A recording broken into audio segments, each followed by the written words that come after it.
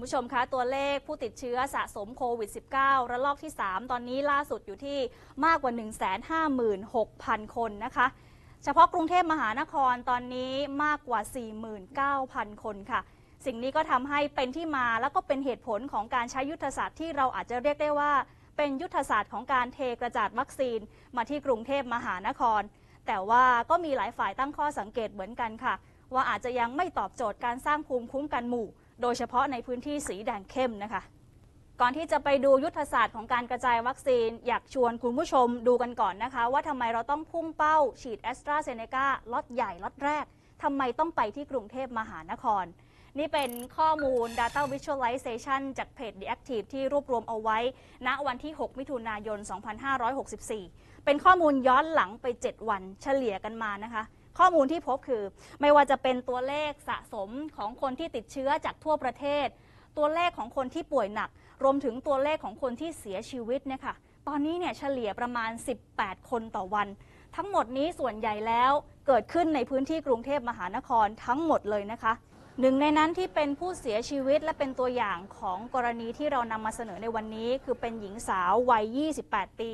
เธอเสียชีวิตหลังจากติดเชื้อค่ะ แล้วก็ไม่ได้เข้ารับการรักษาพยาบาลในทันทีโดยเหตุผลหลักก็คือเตียงไม่พอนะคะหญิงวัย 28 ปีเสียชีวิตภายในบ้านหลังนี้ หลังทราบว่าตัวเองติดเชื้อโควิด -19 เพียงไม่กี่นาทีจากโรงพยาบาล เธออายุยังน้อยและไม่มีโรคประจำตัว รับวัคซีนไปเข็มเดียว จึงยังไม่มีภูมิคุ้มกัน เมื่ออาการหนักไม่มีเตียง สุดท้ายเธอจากไปท่ามกลางสายตาของคนในบ้าน ทำอะไรไม่ถูกอะร้องอย่างเดียวอะคือมันไม่ใช่อะ มันไม่ใช่น้องเราอะ มันไม่ได้จะเป็นน้องเราอะเขาเป็นคนแข็งแรง แข็งแรงมาก ไม่เคยเป็นอะไรไม่เคยป่วยอะ แล้วอยู่ดีมาเป็นแบบเนี้ยแทนที่เขาไปแทนที่ไปโรงพยาบาลจะเอาเขาไว้อะให้น้ำเกลือก็ยังดีให้ออกซิเจนก็ยังดีเขาน่าจะมีชีวิตรอดอะ มันไวเกินไปอะ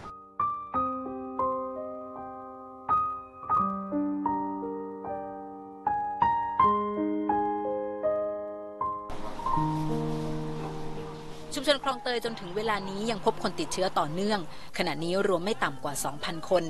หลายคนยังคงตกงานและลำบากเมื่อต้องกักตัว รวมถึงครอบครัวนี้ที่ต้องกักตัวถึง 17 คนกังวลเครียดตอนนี้เครียดหลาย ๆ อย่าง เพราะอะไรลูกก็ต้องโดนหยุดงานหมดเลย โรงงานสั่งหยุดทำงานลูกทำงานแบงก์ก็โดนหยุดทำงานคลังเชลก็สั่งหยุด เครียดอย่างเงี้ยเครียดแล้วเด็กอีกเด็กเด็กเนี่ยเด็กเล็กอะเจ็ดคนอะ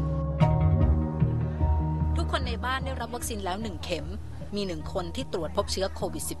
-19 ข้อมูลจากสบคพบว่าในรอบ 2 เดือนของการระบาดรอบ 3 มีผู้เสียชีวิตในวันที่ตรวจพบเชื้อถึง 54 คน ทั่วประเทศเสียชีวิตสะสมแล้ว 1,332 คน ขณะที่ยอดผู้ติดเชื้อรายวันยังคงสูงขึ้นจำนวนผู้ป่วยก็สูงขึ้นตามไปด้วยนี่จึงเป็นคำตอบว่าทำไมวัคซีน จึงเป็นตัวช่วยสำคัญในเวลานี้ที่ต้องฉีดให้เร็ว และทั่วถึง อรวรรณสุขโขทัย PBS รายงาน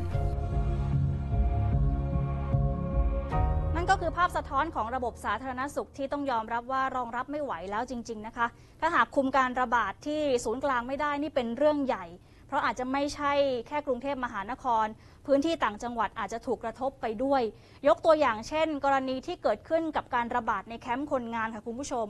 พอปิดแคมป์ไปเนี่ยคนงานก็ตกงาน ทางเลือกหนึ่งคือกลับบ้าน แต่บางคนเอาเชื้อไปด้วย ให้คุณผู้ชมดูข้อมูลชุดหนึ่งนะคะ เป็นข้อมูลของการรวบรวมแคมป์คนงานที่นำเชื้อกลับบ้าน ตอนนี้มีมากกว่า 9 จังหวัดแล้วค่ะ ตัวอย่างเช่นที่อุดรธานีนะคะ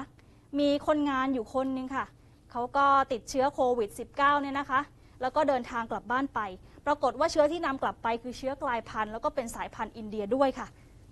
เช่นเดียวกันกับที่จังหวัดชัยภูมินะคะ เคสนี้ไม่ได้ผ่านกระบวนการ Bubble and Seal เพราะว่า ตอนแรกตรวจไม่พบเชื้อค่ะ แต่พอกลับไปที่ชัยภูมิจึงทราบผลว่าติดโควิด -19 แม้ทางจังหวัดจะสามารถคุมการระบาดได้ แต่ถ้าหากเรายังตัดการระบาดที่ต้นทางไม่ได้ ปัญหาใหญ่ก็จะลุกลามไปยังจังหวัดอื่น ๆ ได้ค่ะถ้าเราจัดการกับพื้นที่กรุงเทพให้เรียบร้อย โอกาสที่สะเก็ดไฟจะมาอยู่ต่างจังหวัดนะก็จะน้อยลง เพียงแต่ว่าขณะนี้ ทรัพยากรที่ที่อยู่ในมือเนี่ย อาจจะยังยังยังมากไม่พอเนาะที่ที่เห็นฉีดกันในกรุงเทพเราก็ไม่ได้เปรียบเทียบกับต่างจังหวัดหรอก แต่คิดว่ามันมันถูกแล้วล่ะ ที่ทรัพยากรที่มีจำกัด ก็ต้องจัดการในกรุงเทพให้อยู่หมัด แล้วก็ต่างจังหวัดเขาก็จะได้ปลอดภัยด้วยครับ ความหวังจะหยุดการระบาดพื้นที่ศูนย์กลางอย่างในกรุงเทพมหานคร เวลานี้ก็เหมือนจะมีทางเดียวนะคะ ก็คือความหวังเรื่องวัคซีนค่ะ แต่ปัจจัยที่ต้องนำมาคิดด้วยมีอย่างน้อยๆ3เรื่อง คือเรื่องของจำนวนประสิทธิภาพ และการกระจายวัคซีนด้วยค่ะ ถ้าจะดูเรื่องของจำนวนถือว่ายังไม่เป็นไปตามเป้าหมายนะคะ เพราะว่าเดิมทีแล้วตั้งเป้าแอสตราเซเนกาอยู่ที่ 6.3 ล้านโดส แต่ข้อมูลวันที่ 4 มิถุนายน เราน่าจะมีวัคซีนแอสตราเซเนกาในเดือนมิถุนายน เพียงแค่ 5.46 ล้านโดส และมีซีโนแวคมาเติม 1.5 ล้านโดส แต่เฉพาะสัปดาห์แรกนะคะแอสตราเซเนกาจะได้รับมาเพียง 2.4 ล้านโดส ซึ่งครึ่งหนึ่งเนี่ย ก็เทมาที่กรุงเทพมหานครทั้งหมดนะคะ